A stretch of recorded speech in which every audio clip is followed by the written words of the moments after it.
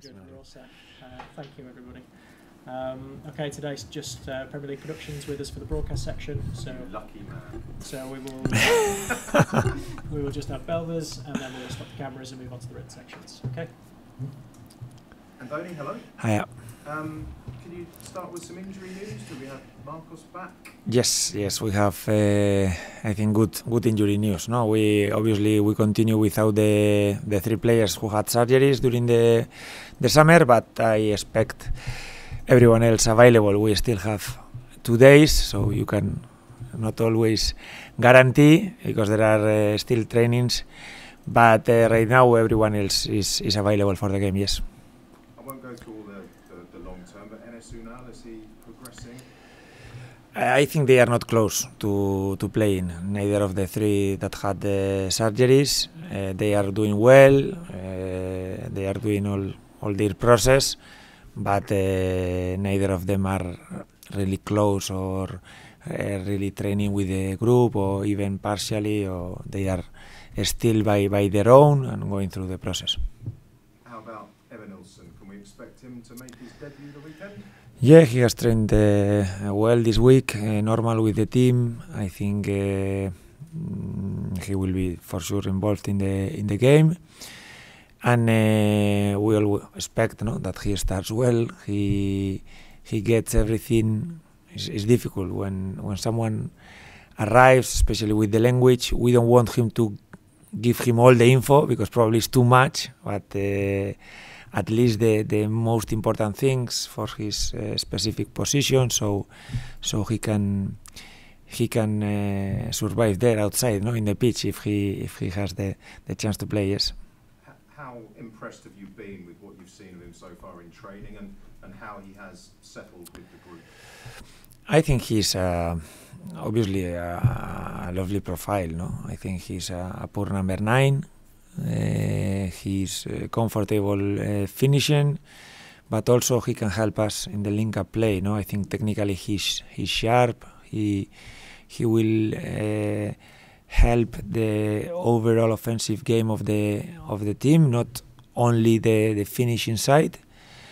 And I hope he he he takes quickly, no, everything that we are gonna try to to tell him. He starts combining with the with the teammates because I suppose it's it's it's not always easy, no, when you change countries, different languages. Uh, but I hope this process goes as, as smooth as possible. And is there any update on Daniel Jebbison? Is he staying? Is he... No, he continues with us. He's training well. Uh, is uh, an option we have also for Sunday. So uh, at least uh, this week nothing is going to happen and, and he will be involved uh, with us in the game. Um, looking back to Forest, obviously you spoke after the game. Having watched it again, having Yeah. analysed it, was there much new stuff you learned from that performance? I think overall we were probably, uh, even if we tied it at the end, we were closer to winning the game than losing the game. I think we had the most clear chances, but I wasn't fully, uh, you know, uh, pleased with the performance, especially first half. No, I think we started quite well, but after the Danilo's injuries, we lost the rhythm. Everything went too slow, and, and probably we didn't uh, finish well the first half. We conceded the goal, and we didn't finish strong. I think we were better in the second half. We managed at least to get one point. It's not the result probably we wanted, but also we have to value because I think it's a difficult place to, to play there. Yes. It seems to be a bit of a trend because I think is it 66% of goals for Bournemouth under you have come in the second half. Yep.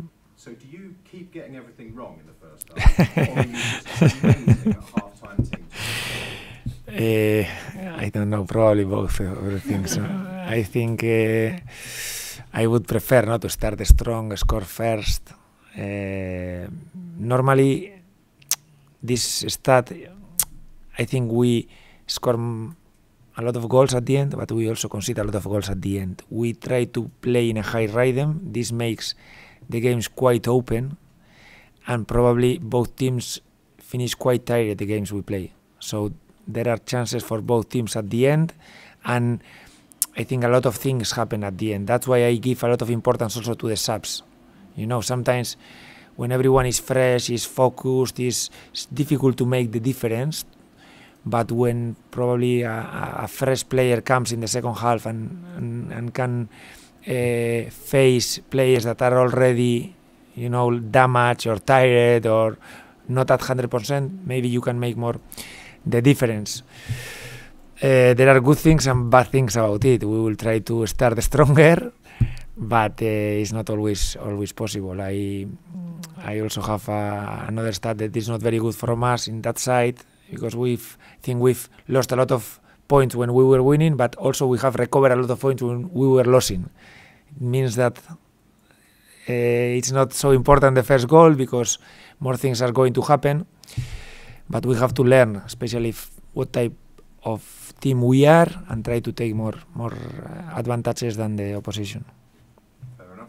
The next opposition is, is Newcastle. Um, they obviously played most of their game against Southampton with 10 men Yeah.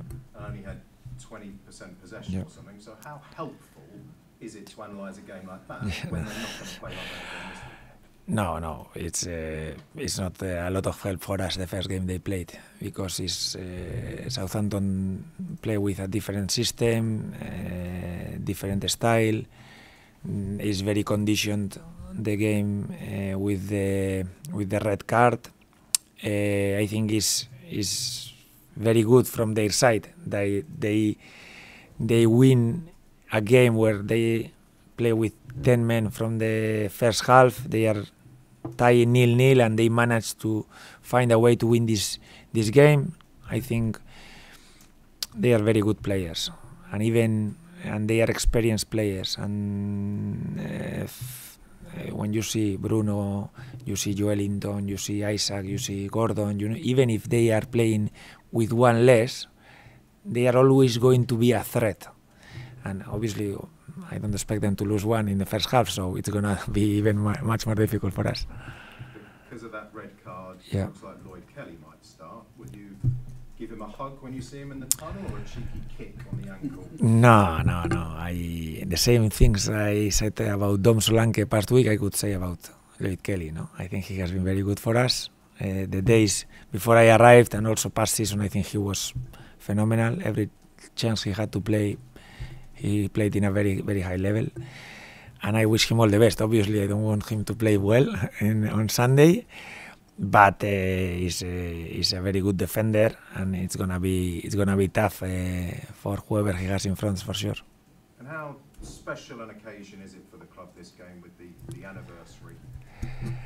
I think it's, it's, it's probably very very fitting, no? That also Eddie comes with uh, Newcastle is a big part of the of the history of the club. I think it's I think it's 125 years. There are a lot of years, you know. There is a lot of history behind, and it's it's, it's, not uh, probably here in England. You don't see it as special, but for me, that I come from outside, uh, for me, 125 years is a is, is a lot, and I'm I feel lucky, you know, to be part now in, in this special moment also. You played in Yeah. 100th Yes. Tempted to register yourself so you can play in the next one? no, it's especially for us. It's not. It's not a good good news, but uh, it's true that for me it was special to play in the in the in the century game or whatever it's it's called uh, for for Rayo, and also special to be here part, not playing. Fortunately for us, uh, in in such a special moment. Yes, Thanks, Andoni. thank you.